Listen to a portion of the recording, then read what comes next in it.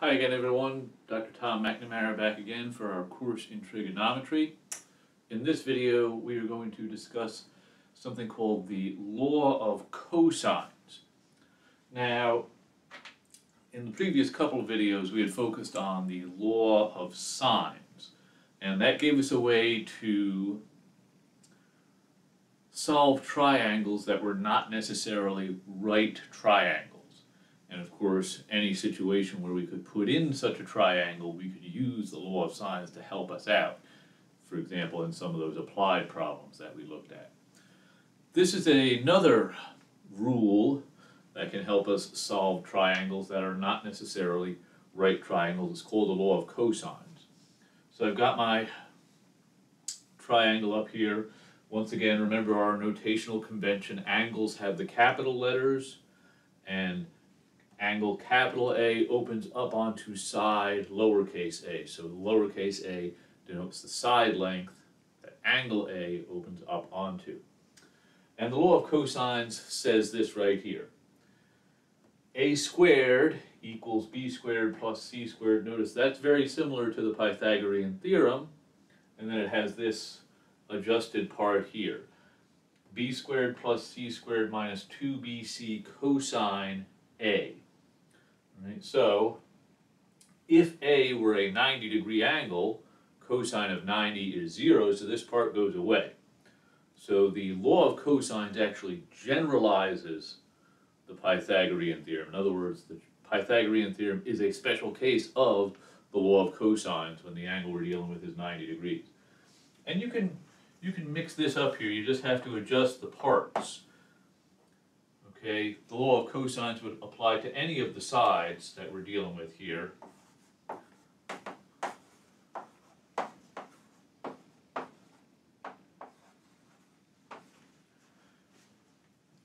It, it would tell me c squared equals a squared plus b squared minus 2ab cosine c. All right, so notice that the angle I've got here on the right side is always the angle that opens up onto this side. All right, so if I wanted to write a b squared on the left, I would need cosine b over on the right. Okay, so this is the law of cosines, and we could actually prove this in a similar way to what we did with the law of sines. We would drop down a perpendicular and work with the right triangles that perpendicular created. But let's get right to uh, an example here.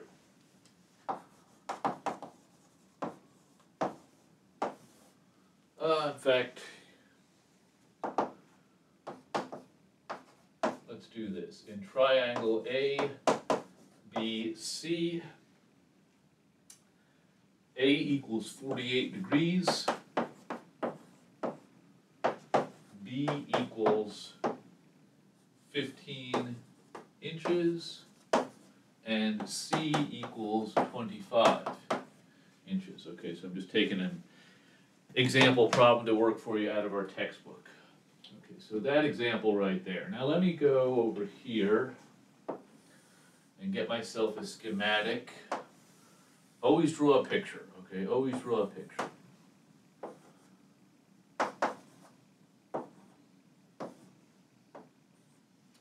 So I'm going to include the information that they've given me in orange here. So they told me that A was 48 degrees, B was 15 inches, and C is 25 inches. Now, you might be saying, well, why do we even need the law of cosines? We have the law of sines too, right? Wouldn't that be easier. We just worked, didn't, didn't have the squares or anything like that. We were just working with the law of sines. Okay, here's the problem. I know angle A, I don't know side A. But I only know one of the angles. So I don't know these two. There's no way for me to figure it out. I know if I take all three of them and add them together, I would get 180 but there's no way to solve that equation with two variables in it. So no matter what I put here, I'm gonna have two unknowns. I'd have an unknown down here, and I'd have an unknown up here in the angle. So the law of sines will not work. The law of cosines is gonna help us out here. So the law of cosines says that a squared equals b squared plus c squared minus two bc cosine of angle A. So a squared equals fifteen squared plus twenty-five squared minus two times fifteen times twenty-five times cosine forty-eight degrees. Alright, let's do some number crunching here. Uh, uh, fifteen squared is two twenty-five. Twenty-five squared is six twenty-five. Uh, let's multiply all this out here, thirty times twenty-five. Hmm, thirty times twenty-five, well, twenty-five times twenty-five is six twenty-five, plus one twenty-five, so I'm getting seven fifty.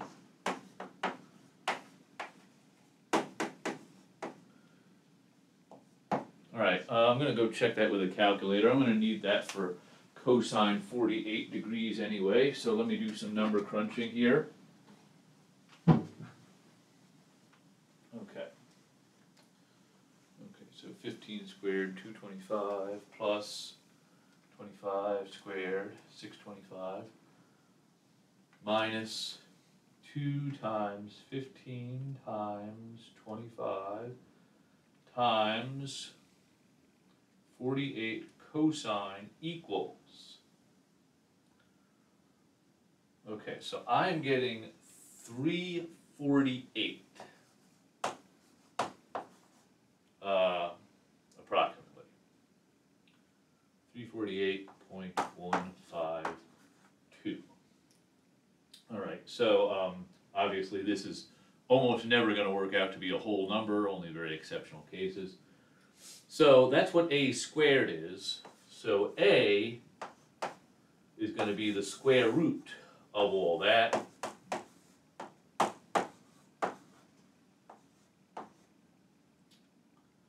Which is approximately eighteen point seven. Okay, so put that over here in, uh, in blue. Alright, now, um, example that blah blah blah and c equals, guess I forgot to write the directions here.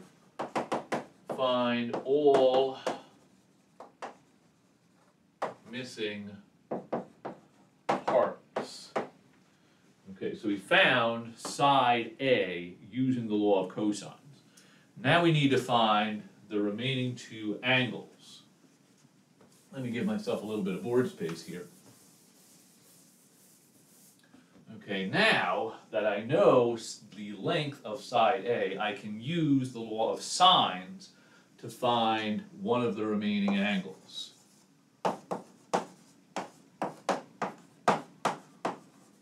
Okay, so we'll use this one. Sine of angle A over side A equals sine B over side B. Given the information that we know, this says that sine forty-eight degrees over the length of side A, which is eighteen point seven, should be equal to sine B, that's an unknown, but side B is known. So sine B equals fifteen times sine forty-eight degrees over eighteen point seven. Okay, back to some number crunching. Fifteen times forty-eight sine equals, divide by eighteen point seven equals. So sine B is equal to point five nine six one, approximately. So to find the angle, I will take the inverse sine.